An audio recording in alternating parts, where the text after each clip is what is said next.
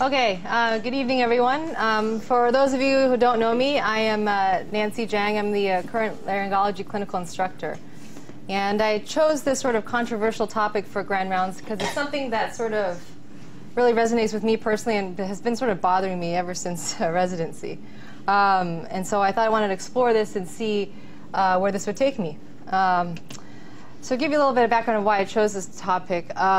When I was a resident and we had resident clinic where we saw patients on our own, patients with all these complaints of hoarseness, cough, choking, globus, dysphagia, we gave them all one diagnosis, and that was laryngopharyngeal reflux. And this was taught to me by my chief residents. It was taught to me by my attendings.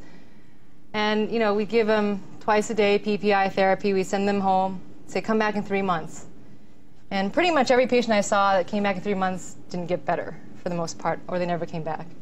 And so when they didn't get better, we said, you know what? We have to double the dose, and then we have to give you an H2 blocker, and then you'll get better.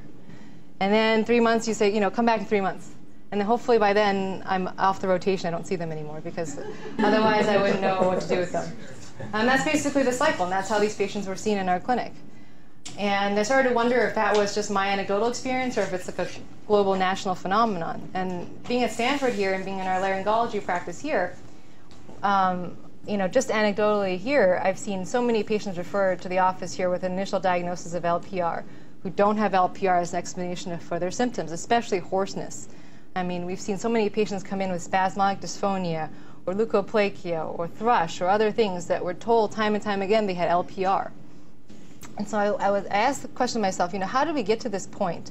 And why is it that it's so, LPR is so prevalent and it's become sort of what we call the hammer of laryngology? You know, I'm sure because Ed and Kwang don't rotate off service, and they have to do something. Yeah, when they come back in six months, it's like, oh, what do we do? um, so I'm sure you guys have heard the quote. um, if you only have a hammer, you tend to see every problem as a nail. And I think that LPR has become the hammer for all symptoms related to laryngology. Um, and um, looking at the literature, it seems that my hunch was right in terms of uh, sort of a national phenomenon of this. This is um, a study done in the early 2000s looking at um, ENTs treating patients for reflux. Um, in the early 90s, about 89,000 patients uh, nationally would be seen for reflux-related problems by an ENT. By the early 2000s, that number went to 421,000. And reflux encounters were less than 1% of our practices in the 90s and in the early 2000s, it became 3% of our practice. This is a 300% increase in LPR. So it's either, um, you know, we, it's much greater awareness of this disease or an overdiagnosis. You know, something's going on here, or there's something in the air where everybody all of a sudden has developed LPR, but I don't think that's the reason. And this is also not just reflected in ENT, but also in the primary care sector um, in, with internal medicine. Here's a survey done um, on uh, primary care physicians and their practice patterns. Um, they were asked, when a patient comes into your office with unclear etiology of hoarseness, what is the first thing you do for these patients? And over 80% of them will prescribe reflux medication as their go-to treatment for dysphonia. Not an exam by an ENT, you know, not a look at their vocal cords, reflux medication. And some of them also give antihistamines, but that's by and large the, the biggest thing they give. And they think, you know, they believe that reflux is hoarseness sorry, is largely due to reflux. Um, and so this idea has perpetuated through other fields as well. And I think that more and more we're starting to realize as a group that maybe there is this overdiagnosis of LPR. Um, a survey of general ENTs at our academy meeting um, stated that you know 46.5% of them stated that they were concerned about an overdiagnosis of LPR. Just surprising, the number is actually not too high. I would think that more of us would think there's an overdiagnosis issue. Um, and I think that you know there there is reason to be concerned. Um, there are some studies now showing that this is a problem. Um, this is a paper from uh, Lucian Sulica. He's out of Cornell. He looked at his own practice at 26 patients that came to him for a second opinion after they were diagnosed with LPR, and they had persistent hoarseness, all of them, for at least uh, eight months, and they were told they had LPR. And when he evaluated them with a, stro a strobe exam, he found that none of them had LPR. Um, they had all sorts of diagnoses for their hoarseness, phonotraumatic lesions, neurologic disorders, presbylarynges, thrush, and he treated them respectively for each of these individual diseases and got you know, resolution of the hoarseness. Um, similar study came out of OHSU looking at the same, you know, same idea. 102 patients um, with hoarseness with a diagnosis of LPR prior to their evaluation. 86.6% of those, by the way, was diagnosed by an ENT. So somebody had scoped them and told them they have LPR. Again, none of these 102 patients were diagnosed with LPR after evaluation. Uh, this is a list of all things that he ended up diagnosing the patients with. Um, and uh, scarily enough, actually, one patient in the 102 had squamous cell carcinoma that was diagnosed as LPR. So this has really become a, a, a problem, I think, um, because we're missing diagnosis, we're, we're misdiagnosing patients, and we're not giving them the care they're supposed to get. Um, and there's also an economic burden associated with this. Um, this is a study from Vanderbilt where they prospectively followed patients that came into Vanderbilt um, for evalu uh, evaluation of um, host of symptoms that suggested LPR. So they treated these patients over time and followed them prospectively and calculated both their direct and indirect costs. And the mean total cost per patient with LPR in the initial year cost about $5,000, which is 5.6 times the annual cost to treat reflux. And 86% of this was contributed to medication, the majority of which is PPIs.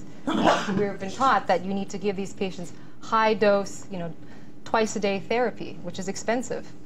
Um, and interestingly, after all these costs, only about 54% of these patients had improvement or resolution of their symptoms. So we're spending all this money and all this energy treating them, and yet we're not getting a great response rate. Um, and this graph is kind of striking. This is just an estimate, so I don't know how accurate this is, but they estimate on a national scale how much um, is LPR costing us economically.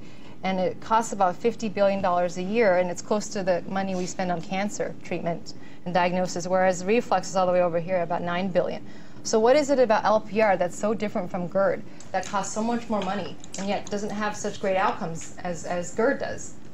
Um, and so I think the rest of my talk is going to focus on how we got to this, this state. You know, it's either we're overdiagnosing them or our treatment options are incorrect.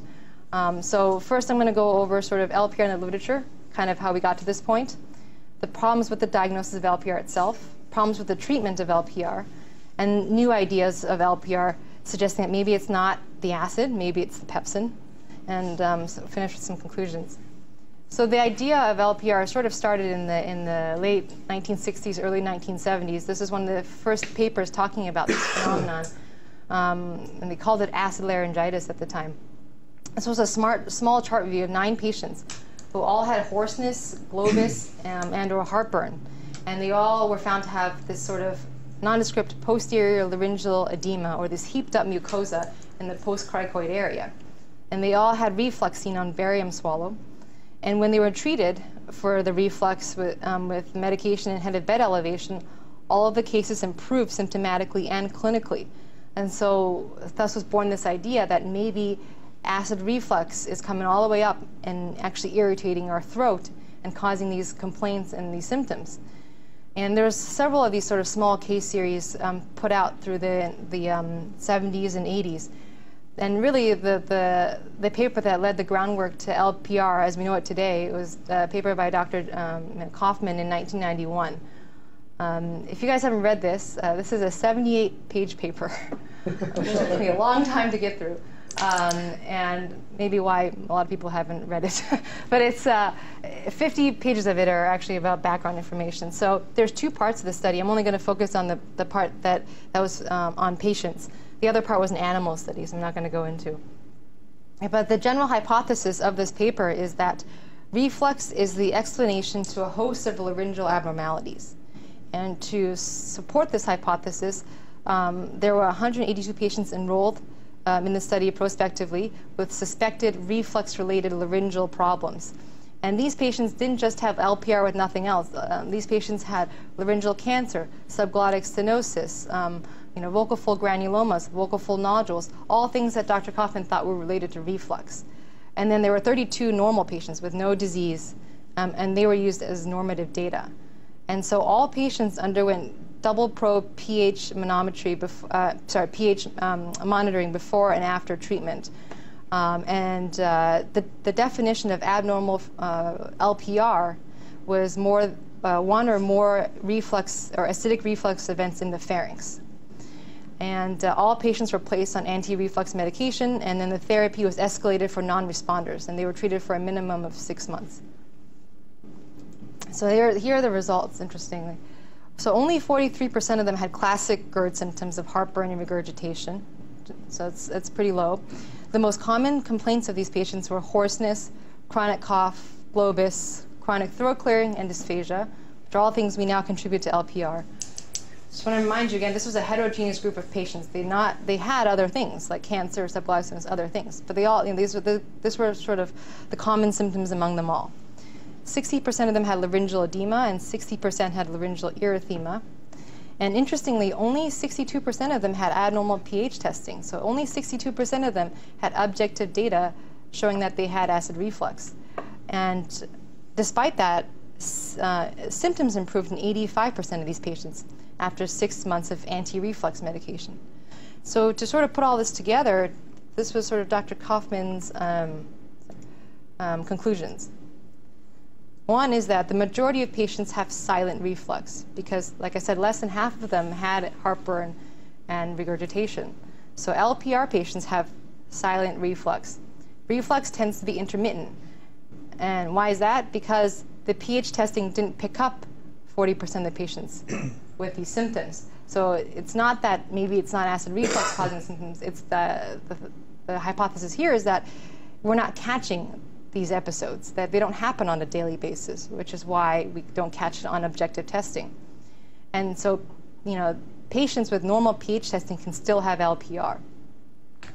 And, you know, to kind of support this um, conclusion, um, Dr. Koufman cites that 15 of the patients actually had radiographic evidence of reflux and negative pH testing, and seven patients had uh, vocal process granulomas, which um, she, uh, Dr. Koufman believes is completely related to reflux. And so, and they had negative pH testing. And so the conclusion was pH testing is 100% specific but not sensitive. And that kind of led to everything we know about reflux today. Um, between 1991 and early 2000, there are a few small studies here and there, but th that was really the groundwork um, for our Academy's position statement on LPR in about, this is I think 2002. So um, the Academy put out a paper kind of outlining how what LPR is and how we should treat it. stated that LPR, again, is different from GERD. The majority of patients don't have esophagitis or heartburn. Right? Up to half of patients with laryngeal and voice disorders have reflux. Diagnosis can be made on the basis of symptoms and laryngeal findings alone. Because although the gold, sta gold standard is ambulatory 24 hour double probe pH monitoring, it's not sensitive enough. And it's really, you have to rely on the symptoms and physical findings. And treatment with PPI needs to be more aggressive and more prolonged than for GERD. The majority of patients will require twice daily dosing of PPI. And you may even need to add an H2 blocker to treat them adequately. And you need to do this for a minimum of six months before you notice an improvement. And so after this paper came out, there obviously a lot of interest was generated um, in, the literature. And so I'll show you in a second, but there's quite an increase in publications of LPR, which is good because it really helps to increase our understanding of this. Um, sorry, and one more thing. Interesting, they suggested that an alternative to treat these patients is actually to go straight to fundoplication.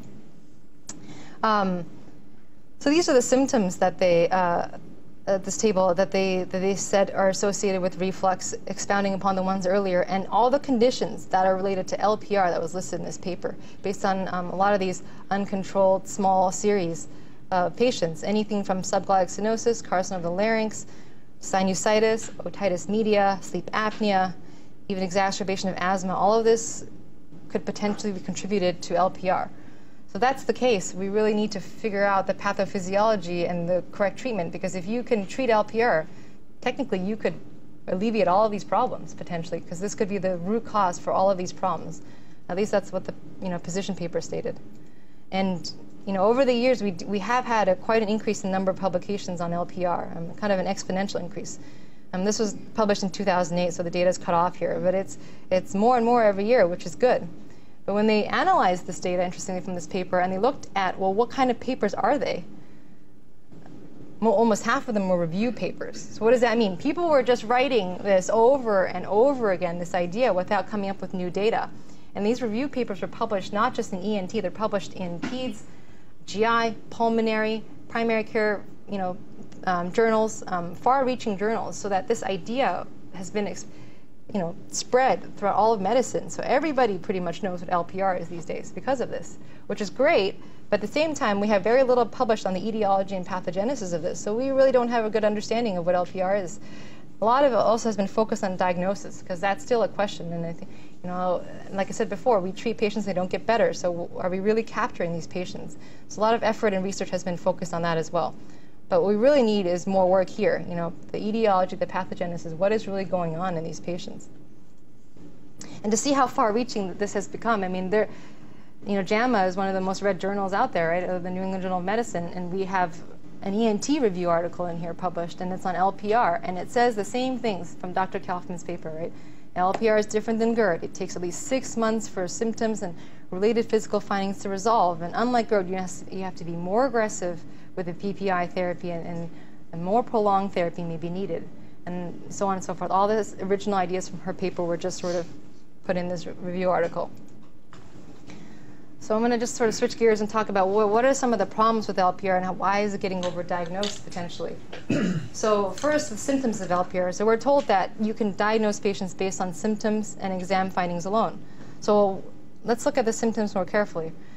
So to sort of help us in making our diagnosis of LPR, um, this rating scale has been come up, which is I think a great idea. It's called the Reflux Symptom Index. So you have a patient fill out a survey, and you score it. And if they score above a 13, you can be pretty sure they have LPR. And that's the goal of this, this rating scale.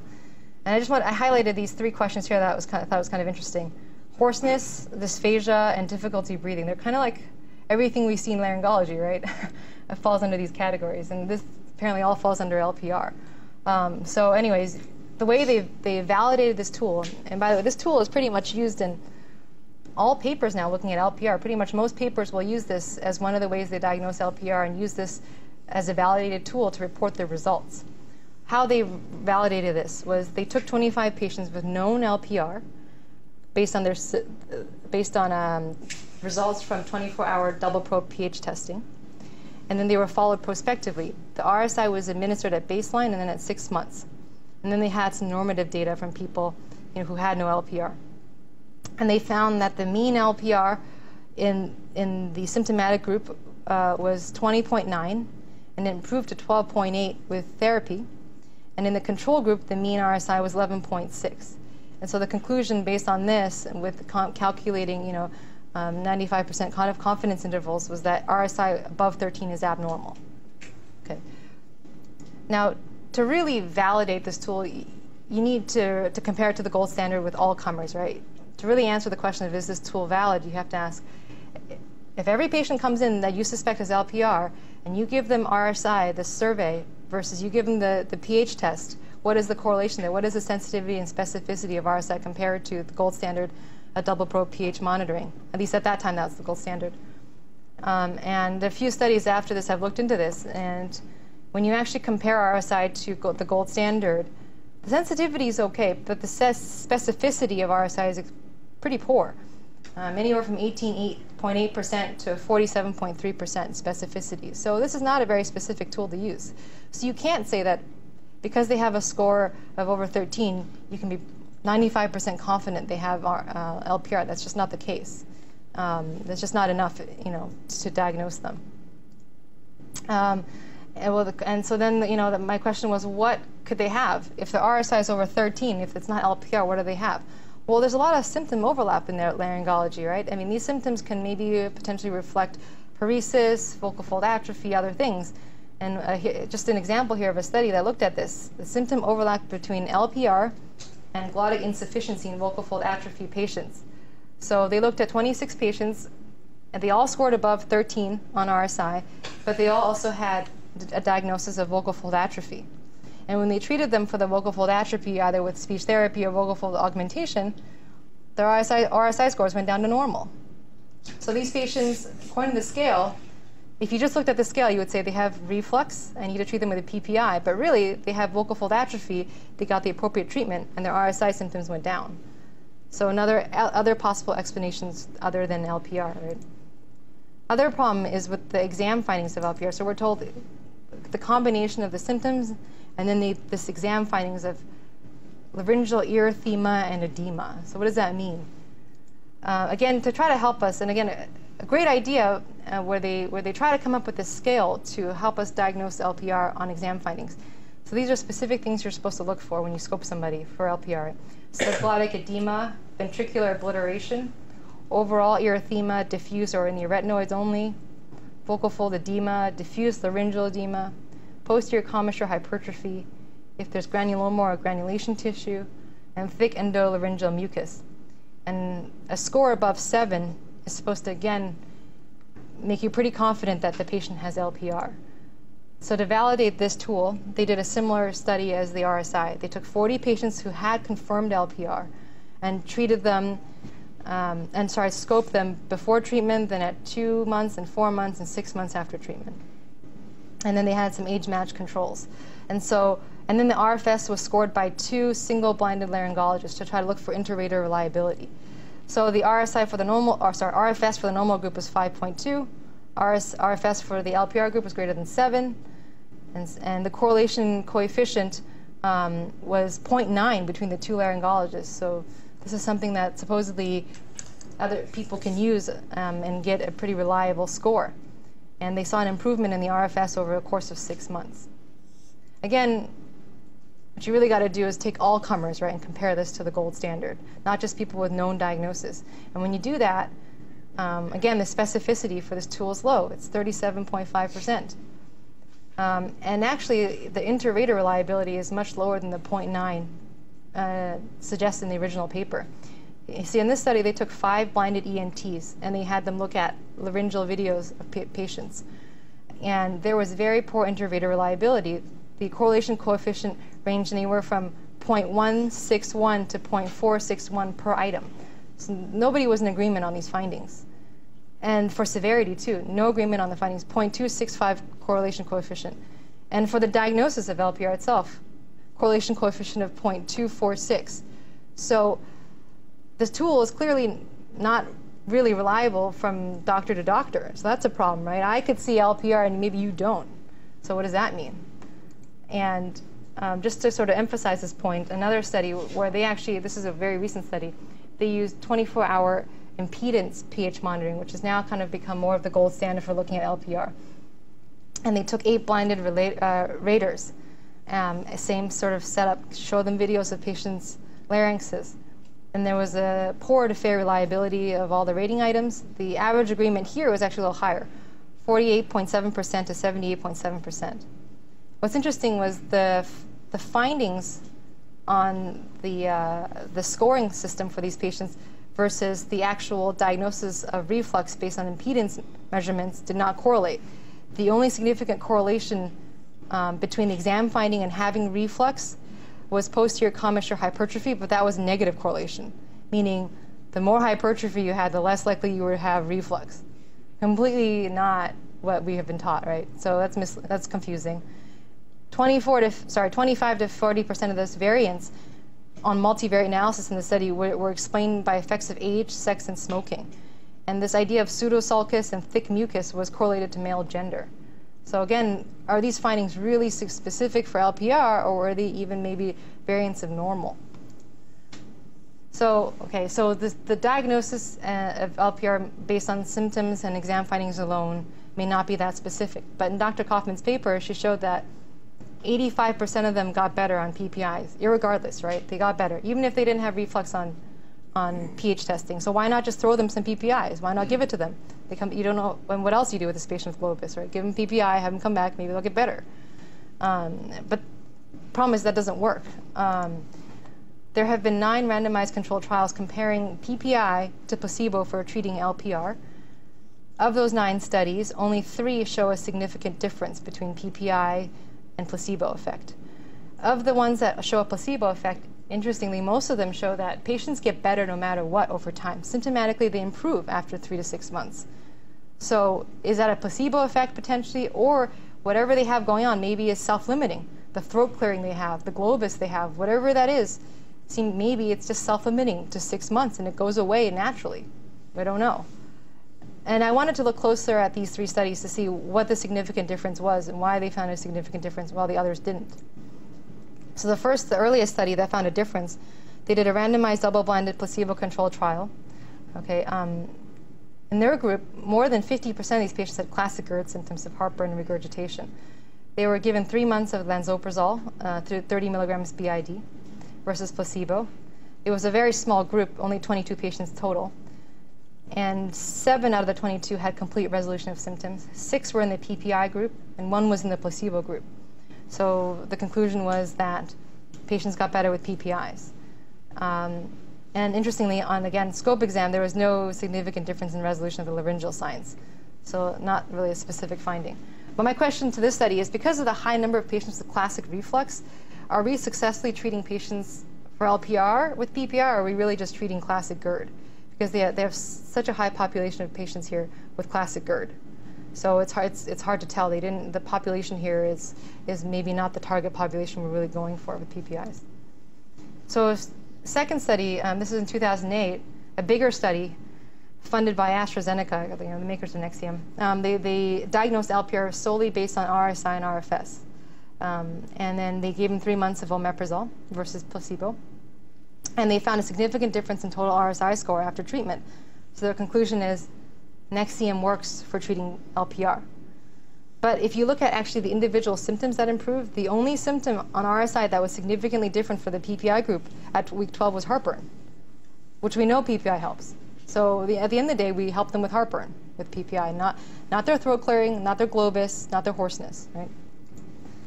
Another study here is showing a difference three months of um, AS, um, I can't say, rabeprazole uh, versus placebo. And they confirmed LPR based on a combination of RSI, RFS, pH monitoring, and EGD. And uh, more than 50% of the patients had LPR based on objective testing. And again, they found a significant difference in the total RSI score for the PPI group. So here's their data. This is um, RSI. This is the weeks of treatment. At week 12, they stopped treatment completely. There was a washout period. So in the placebo group, nothing really happened. Their, score, their symptoms stay the same.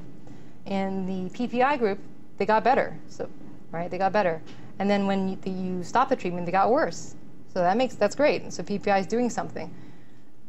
Two things though the difference is actually not that great. They go from a little over 14 in their symptoms to a little under 12. So there's a two point difference in their symptoms overall with PPI therapy, with high dose PPI therapy. So I don't know if that's a really clinically significant difference or not.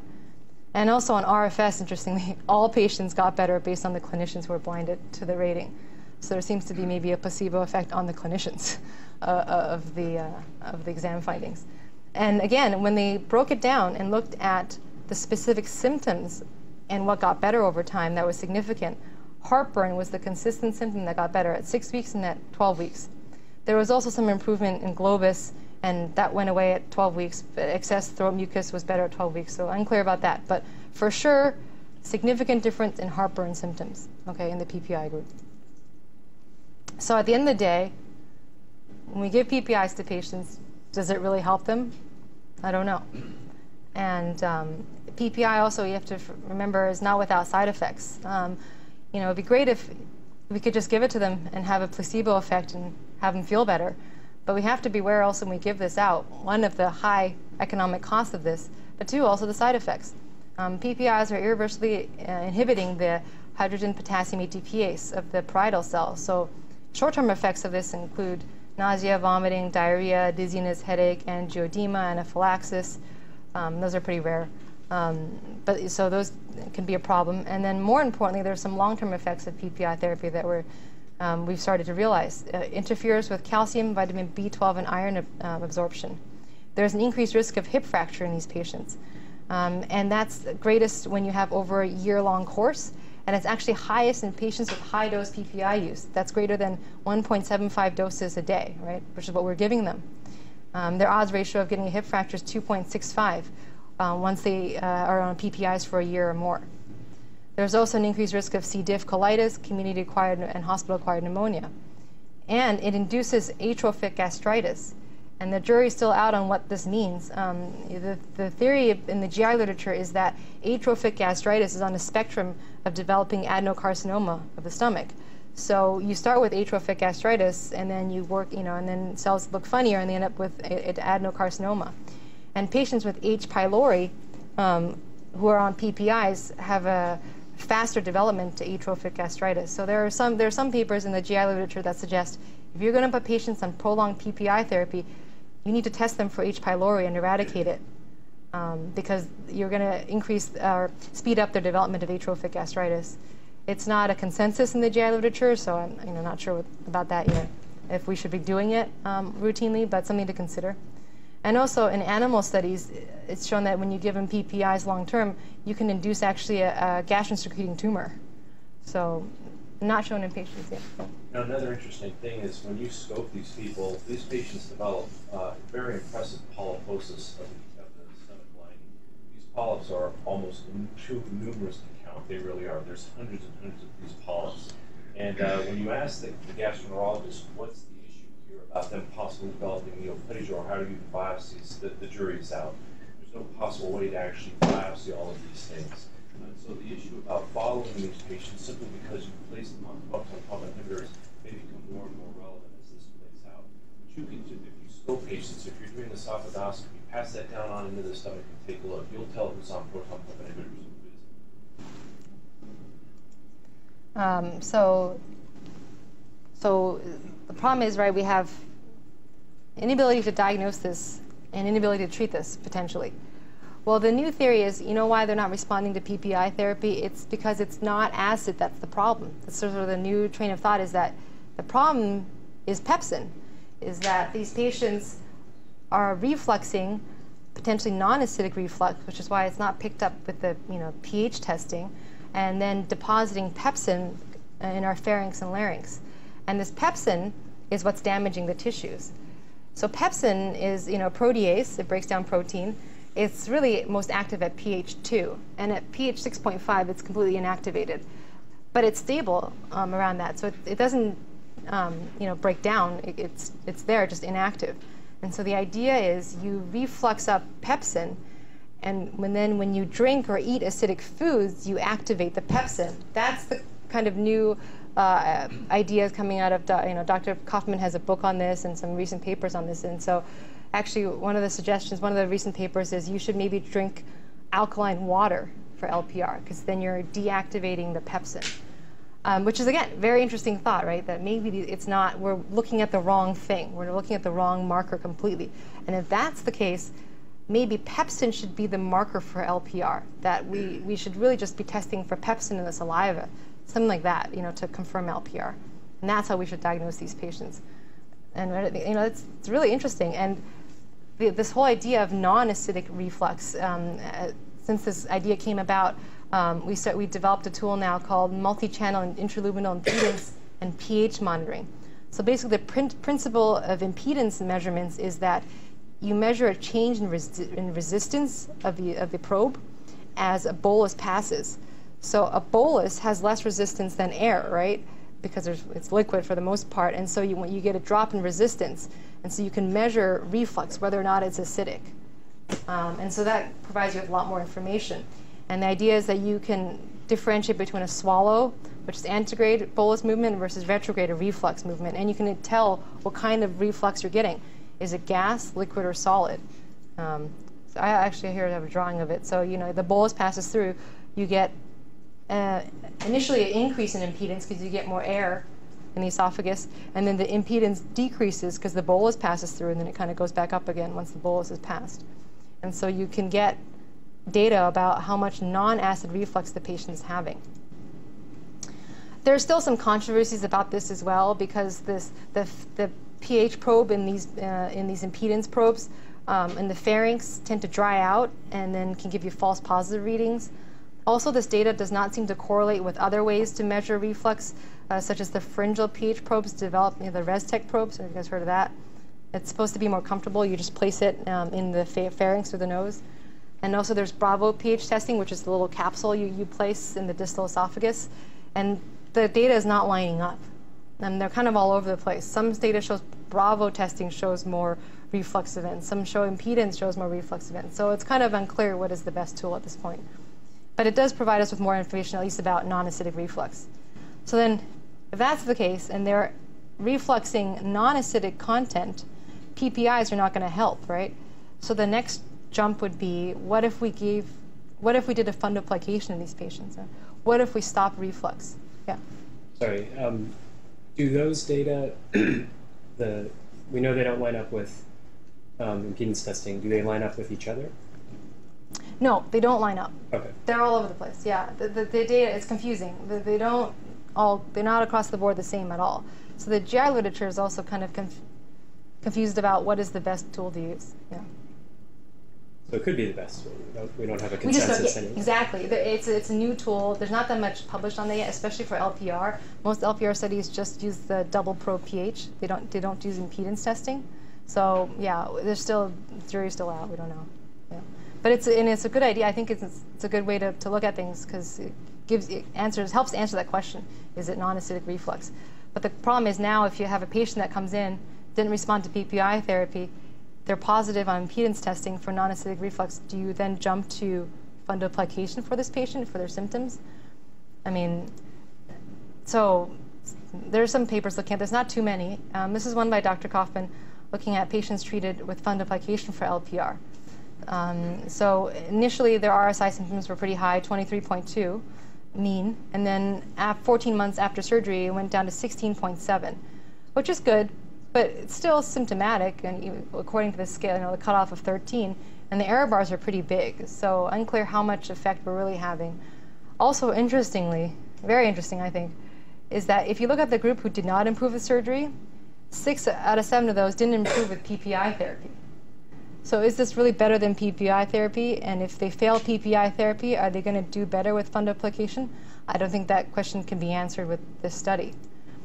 Um, this is another one, I think it's a better design study trying to answer this question.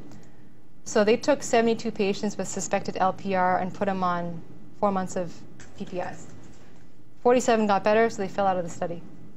24, 25 of them didn't respond at all to PPI therapy. 10 of them underwent fundoplication, and 15 continued with PPI therapy. All of them had pH proven reflux. Okay. So this graph shows basically the point of this one is showing that the, reflu- the fundoplication worked. At baseline, they have acidic reflux. On PPI, their acidic reflux got better. After surgery, it continued to be normal. So this is just proving that indeed the fundoplication was successful in these patients. But then you look at their symptom response to the fundoplication. Out of the 10 patients who got fundoplication, only one patient got better. 10%. So one patient got better with fundo symptomatically, even though you successfully treated them for their, for their reflux. So again, are the symptoms caused by reflux? One patient got better in the PPI group who continued PPIs. So really no difference in PPI versus fundoplication when it comes to symptom relief. And so then, you know, the question is, well, are we affecting pepsin levels with fundoplication, right? Are we really decreasing levels of pepsin with fundoplication? And so here's a study asking that question. Um, they took patients before um, fundoplication, measured their pepsin levels, and looked at their pepsin levels after. And their conclusion was, this works. Anti-reflux surgery improves symptoms and clears pepsin from the upper airway. Detection of pepsin improves diagnostic accuracy in patients with LPR. But if you look at their data closely, I don't think you can really make these conclusions. They have nine patients only, so it's a small group. And they compared like apples to oranges. They compared pre-op biopsy proven pepsin of the of the pharynx or a post-cricoid area to pepsin in the sputum.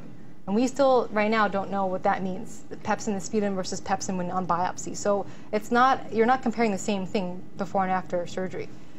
Also, three of the patients actually failed surgery. So if you look at their Demeester scores before and after surgery, one of them actually got a lot worse, and two of them didn't have any improvement. But of the three failed surgeries, two of the patients had pepsin go from positive to negative, and one patient had good symptom improvement. And that was the one whose Demeester score went from like a 12 to 42. So what does that mean? And then one patient didn't have pepsin before or after the surgery, which failed anyways. So I- don't think the conclusion that you can really make that conclusion based on there. It's an interesting idea, and I think we need more people really in a bigger study. And also, sorry, one interesting one patient had successful surgery and negative pepsin post-op, but their symptoms did not improve. And my question for the pepsin literature is, um, you know, what are we really measuring with pepsin? None of the studies really mention the uh, ideas of the fact that there's isoforms of pepsin. So in the pulmonary literature, they're starting to bring this idea up of like of, of these reflux studies and asking, are we really measuring pepsin from the stomach? Are we measuring something else? And there's actually something called pepsinogen C that's made in our stomach and our lungs. Uh, it's helped. It's uh, needed for the process of making surfactant in our lungs. It's the same as pepsinogen A. It's activated in an acidic environment. It's a protease. It does very similar things. Our stomach also makes it for the same purposes as it makes pepsin A, which is to digest protein. And um, a study here out of the, the pulmonary literature looked at 51 patients who underwent surgery unrelated to reflux or the larynx, um, and they collected the sputum after intubation. And 11 out of the 15, 51 patients had detectable total pepsin. There was actually no detectable pepsin A, the one that's made in your stomach, in these samples. All the pepsin was contributed to pepsin C. And none of the, the ENT literature looking at pepsin has actually differentiated between the two and has used pepsin C as a control group. So again, unclear if these studies are really looking at the right marker at this point. Um, and so I just want to finish this talk with, you know, the fact that there's a lot of unknowns. I think it's a really big topic. It's um, a lot of data out there. Um, I only sort of touched the surface of all of this. Um, but I think that before we all could jump to the con- consensus and come out with a position statement as a profession on LPR, we need to understand this better. And I think some things I learned from doing this, uh, putting this together, this Grand Mountains, is that if patients present with hoarseness, you should not assume the diagnosis is LPR. It's something else. And they warrant a stroboscopy if you can't see what it is on flexible laryngoscopy. And if you still are not sure, then refer them to a laryngologist if you can, if you have that resource. Um, because time and time again, these papers have shown that the hoarseness is not from LPR. And I personally don't even know what LPR hoarseness is supposed to sound like. I mean, you know spasmodic dysphonia sounds like a strained voice with breaks. Um, you know, uh, vocal fold paralysis is a breathy voice. What is the what is the sound of LPR? I don't I don't know what the, I don't know what it is, um, personally. Um, Cash register. It's a cash register. exactly, that's exactly what it is. Um, and so, you know, consider alternative explanations for patient symptoms before you jump to LPR. Um, and, you know, the flexible laryngoscopy exams uh, of this vague erythema and edema is not reliable. It's not helpful. Looking at their throat and seeing nothing but maybe some erythema edema means nothing. It means absolutely nothing. So you can't really rely on that. Um, if you're going to try PPI, then I suggest this is just my own recommendation. I, I'm, I'm just basing this off of the randomized controlled trials because they only use three month course. But do a three month course instead of the six months because there are side effects to PPIs. And when they don't, when they don't respond after three months, do some more ob- objective testing. Move on to impedance, pH testing, confirm whether or not they even have reflux. And if they don't, think of something else that could be causing their problem. And if they don't have classic symptoms of heartburn, regurgitation, maybe reconsider PPI therapy altogether. And at the end of the day, I think you know a lot more research needs to be done. I think we need to stop writing review articles about this, and we need to actually come up with real data to, to review for the review article. so, all right, that's kind of. Thank you very much for listening.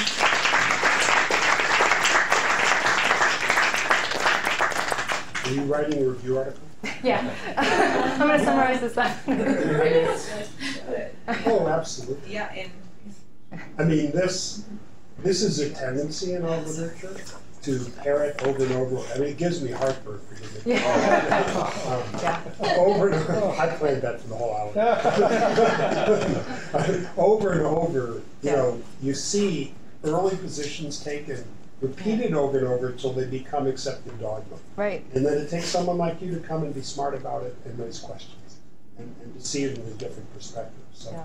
so I applaud this. This is the kind of critical thinking we need. Thank you. And, and it is interesting how fashions come and go in medicine. And To some degree, this may be a fashion. What do you think about LPR and laryngeal cancer? Yeah, so uh, that's a whole other topic, and I tried to delve into that for this presentation. I realized I should leave it alone because that's a whole other thing. But I don't think that, that you could, it's been proven at all. It's a correlation, definitely. There's a relationship with increased uh, rates of reflux in people with cancer. Um, but the question is the things that cause laryngeal cancer, such as smoking and drinking, cause reflux. So you can't, and then when people, and there are a few studies that actually do multivariate analysis, like good statistics, and they look at this, they don't find that it, there's a relationship. So the problem is a lot of our literature is small case series with poor stats. And then we find this correlation, but we don't, we really can't come, you know, with a firm conclusion. So I don't think you can, yeah. Where it comes up is in legal cases where otolaryngologists defend the tobacco industry. It says Yes. that the cancer is from LPR rather than the fact that the person is 60 back your system. Yeah, definitely. that repeatedly. Definitely. And we, we tout this. I mean, it's in our position statement. It says that um, LPR causes cancer. It says it in our in our position. So they can cite that as evidence, right? Have Oh, Yeah. it's not only that. Exactly. Wait, I don't know. Yeah. So based upon, you know, all this review that you've done, you know, who, someone comes into your clinic, is there anyone that you would prescribe a PPI for for LPR after doing all this research? Good point. Yeah, I mean, I think if their history is convincing enough, like today, we saw a patient who came in who has a vocal granuloma, muscle tension dysphonia as well, so other issues for his hoarseness. But he specifically states that after I eat a meal, immediately I get this globus sensation, a lot of mucus in my throat. It's, it happens a couple, sometimes a couple hours, but it's after I eat always. And I tend to eat very late at night with a big meal, and then it's very fatty. And that's when it happens, when I eat a fatty meal. I mean, well then yeah, I think your globus and mucus may be related to reflux and I treat them. I think it has to do with the individual case and the patient and what they're telling you. If their main complaint is I'm hoarse, I'm hoarse, I'm hoarse, I'm hoarse, it's probably not LPR. But if they're saying, you know, uh, you know, I, I have globus, I have thick mucus, I sometimes get heartburn, I eat a lot of spicy food, I mean, maybe. Then that patient I would try on, on PPIs. Yeah. What's the prevalence of LPR in bulimics? And bulimics, that's a good question. I don't know. I don't know. Good question. That's a really good question. That's a great study. But by definition, it's uh, 100%. That's a great study. And do they have pepsin? That's a great. That would be a great study. Yeah, and I would think an interesting thing in the history too would be to ask which comes first, regurgitation or the LPR. Yeah. There were studies I read a few years ago where they found uh, chief cells in the larynx. Is that true?